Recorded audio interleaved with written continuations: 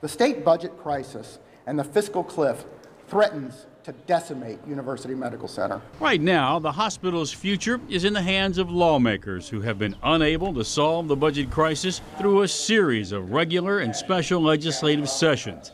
Now, the fiscal cliff approaches. Cutting services or laying off employees would be a setback for the health and well being of our community. UMC employs well over 2,500 employees, $600 million in economic impact. It is the state's flagship teaching facility and the only level one trauma center and burn unit between Texas and Florida. Doctors, employees, frustrated. Uh, This is this is a, a hugely important enterprise and has been so for decades. It's frustrating, isn't it? It's frustrating. We need to be clever about this. This also dramatically impacts our recruitment and our retention of the best and brightest.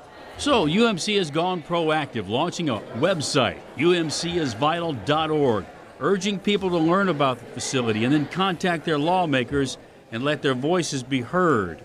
It has to be sustainable over time, and something that's financially responsible is, is part of that equation.